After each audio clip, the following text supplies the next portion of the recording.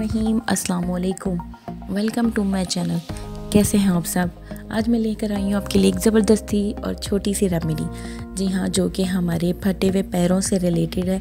जैसा कि आप सब जानते हैं, सर्दियों में हमारे पाँव की एड़ियाँ बहुत ज़्यादा ड्राई डल और रफ़ हो जाती हैं, जिसकी वजह से पाँव की जो एड़ियाँ हैं, उसमें से सॉफ्टनेस ख़त्म हो जाती है और इस तरह इतनी ज़्यादा रफ़ हो जाती है कि उनमें से खून आने शुरू हो जाता है। ये मसला ज़्यादातर हमारे घर के जो बुज़ुर्ग हैं, उनके साथ आता है कि उनकी पाँव की एड़ियाँ बहुत ज़्यादा रफ़ और डल हो जाती हैं और उनमें से खून आना शुरू हो जाता है। तो ये छोटी सी एक रेमेडी है जो कि बहुत ही ज़्यादा इफ़ेक्टिव है, सोच रही थी आपके साथ शेयर कर दूँ।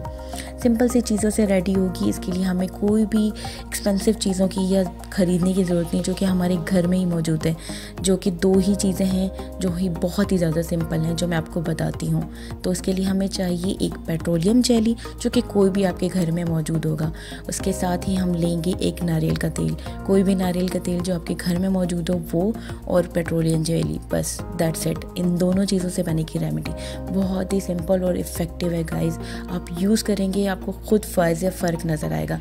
तो इसके लिए चाहिए एक बॉल हम एक बॉल लेंगे, उसके अंदर हम अपनी ये रेमेडी को बनाएँगे। अब क्या करना है हमने, इसके अंदर अब एक स्पून पेट्रोलियम जेली का लेना है। जी हाँ एक स्पून पेट्रोलियम जेली का लेंगे हम और उसके साथ ही हम ऐड करेंगे वन टेबल स्पून नारियल का तेल।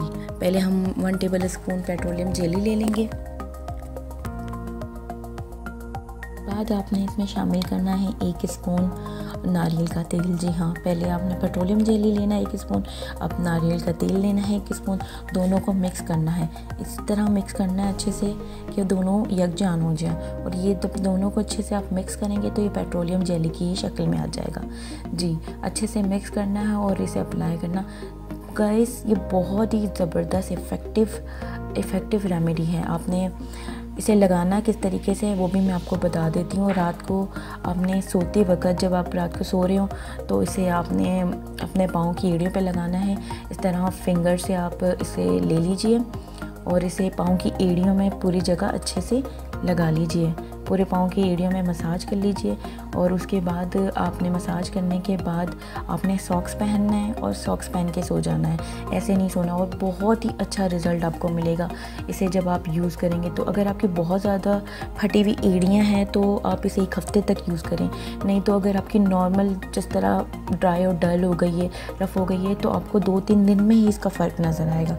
इसे यूज़ कीजिए, बहुत ही ज़बरदस्त किस्म की रेमेडी है। आप यूज़ करेंगे तो आपको वाज फ़र्क नज़र आएगा। और अगर मेरी ये वीडियो आपको पसंद आई हो तो लाइक शेयर और सब्सक्राइब ज़रूर कीजिएगा। इसी तरह की वीडियो आप तक मैं लेकर आती रहूँगी। इसके लिए मेरे चैनल को सब्सक्राइब करना मत भूलिएगा, ताकि मेरे चैनल में आने वाली नई वीडियो की अपडेट्स आप तक पहुँचती रहे और इसी तरह की वीडियोज़ मैं आप तक पहुँचाती रहूँ। दुआओं में याद रखिएगा। अल्लाह हाफिज़।